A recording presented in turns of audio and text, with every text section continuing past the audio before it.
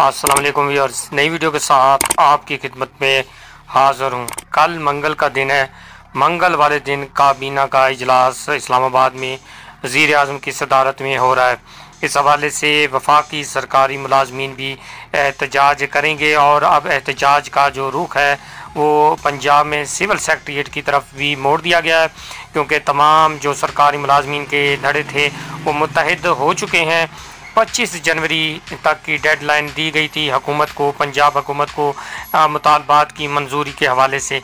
लेकिन 25 जनवरी तक इस डेडलाइन के हवाले से कोई पेश रफ्त नहीं हुई। अब 26 जनवरी को सेक्रेटरीट चौक पर ऐप का मुलाजमीन धरना देंगे, जिसकी क्यादत ऐप का पंजाब की तीनों जो है वो तंजीमें करेंगी। ऐप का पाकिस्तान के मुतहदा काल पर मुल्क भी गिर एहतजाज जारी है।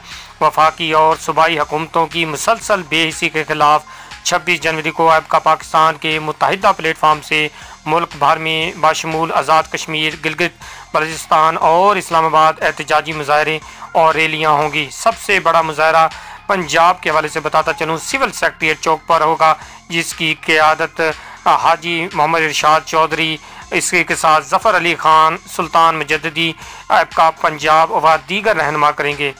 इस हवाले से आपको बताता चलूँ कि तनख्वाहों और पेंशन में इजाफा तफरीक का खात्मा स्केल रिवाइज, वफाकी मुलाजमीन की अपग्रेडेशन सुबह के बराबर, क्लास फोर को स्केल पाँच देना, हाउस रेंट मौजूदा तनख्वाह पर देने ज़क़़त।